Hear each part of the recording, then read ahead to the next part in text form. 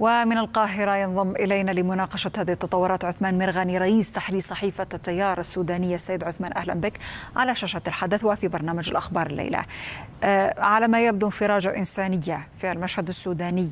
إنجاز الوصف بالتأكيد تتعلق باتفاق بين الجيش السوداني والحركة الشعبية شمال لإدخال المساعدات أو لتسهيل إدخال المساعدات لمناطق سيطرة الجيش ومناطق سيطرة الحركة الشعبية. نريد أن نفهم في البداية هذا الاتفاق هل نضجت التفاهمات المتعلقة بإدخال المساعدات وكيفية تسهيل إدخالها للمنطقتين؟ هو طبعا يعني هذا الاتفاق أشبه بشمعة في نفق مظلم لأن الفترة الماضية منذ انطلاقة هذه الحرب في الخامس عشر من أبريل الماضي لم يكن هناك أي اتفاق على أي شيء بين جميع الأطراف، حتى هذه المنطقة كانت فيها كثير من الاشتباكات بين الجيش من جهة والدعم السريع من جهة أخرى وبين الجيش وقوات الحلو أيضا من جهة أخرى وبين قوات الحلو والدعم السريع هذه اول هذا أول اتفاق. ربما دعنا نتفائل ونقول أنها بداية للوصول إلى اتفاق نهائي. إيصال المساعدات لهذه المنطقة عملية حتمية ومهمة للغاية لهذه المنطقة لأنها تقريبا تعاني تماما من جفاف أي مورد يمكن أن يوصل إليها المساعدات الإنسانية الغذاء والدواء وغير ذلك. صحيح أن السؤال سيكون بعد ذلك كيف يمكن إيصال هذه المساعدات الإنسانية خاصة أن فصل الأمطار الموسمي نعم. قد بدأ تقريبا في هذه المنطقة دائما يبدأ مبكرا وهذا يعني صعوبات لوجستية في الوصول إليها لكن بالضرورة على الأقل اتفاق الطرفين الآن يمهد لإمكانية أن يكون هناك نوع من أنواع التعامل على إيصال هذه المواد الغذائية للمنطقتين. هل يتعلق الأمر سيد عثمان فقط بمنطقة مثل كردفان التي لا تشهد الكثير من النزاعات؟ تمت تفاهمات مع إلى حد معين بين الجيش وبين هذه الفصائل ولكن ماذا عن منطقة مثل فاشر التي كذلك التقارير تتحدث عن ضرورة إدخال المساعدات بشكل عاجل إليها؟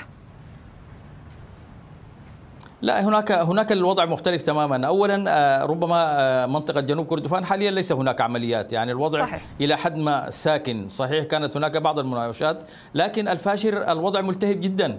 هناك الآن نذر حرب قادمة في الفاشر وهي حرب كبيرة. الاستعداد لها من الجانبين أو من كل الأطراف كبير للغاية. وهناك عدد ضخم من المتأثرين بهذه الحرب ملايين داخل مدينة الفاشر ويتأثر بها آخرون خارج مدينة الفاشر.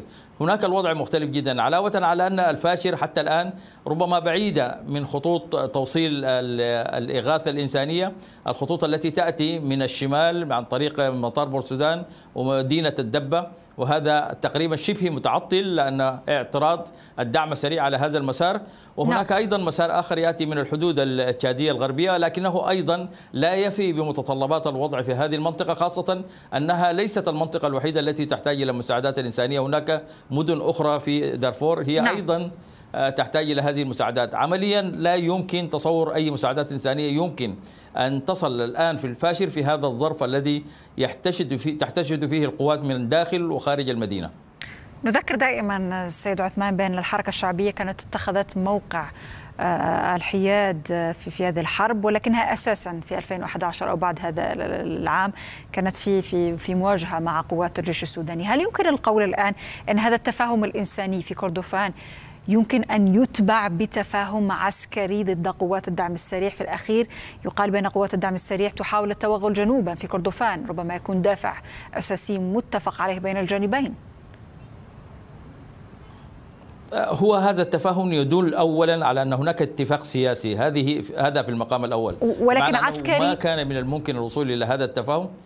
لا أنا أنا ساتي على العسكري. نعم. كان يعني هذا يدل على أن هناك اتفاق سياسي.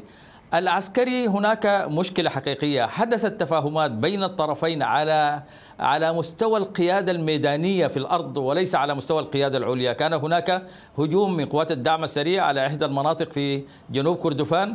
اتحدت هنا كلمة الدعم السريع كلمة الجيش الشعبي لتحرير السودان شمال مع الجيش وخاضا معا جنبا إلى جنب خاضا معركة.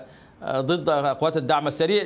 ذلك الوضع هو رغم أنه نوع من التناصر بين الطرفين لكنه غير مطلوب لأنه للأسف الشديد كان يتخذ من المنطلقات القبلية أكثر منها المنطلقات العسكرية بمعنى أنهما اتحدت رؤيتهما بمكونات قبلية أكثر منها مكونات عسكرية بين الطرفين.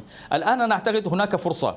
لتطوير هذا الموقف لما كان قبله لأن أصلا هناك اتفاق وقف إطلاق نار موقع بين الجيش السوداني وبين الجيش الشعبي معنى ذلك فقط هو العودة لذلك الاتفاق وتفعيل نعم. مواده مرة أخرى والالتزام به لأن الجيش الشعبي لم يلتزم به بعد بداية الحرب حاول أن يستغل بداية الحرب وانتهز الفرصة وحاول أن يحسن مواقعه العسكرية لكن في النهاية وجد أنه سيكون في مواجهة الدعم السريع فعاد مرة أخرى للتعامل مع الجيش أنا أعتقد أنه نعم. فرصة الآن للعودة للوضع ما قبل الحرب أن يكون هناك نوع من التفاهم والاتفاق العسكري بين الطرفين. شكرا جزيلا من القاهرة العاصمة المصرية كنت معنا عثمان مرغني رئيس تحرير صحيفة التيار السودانية.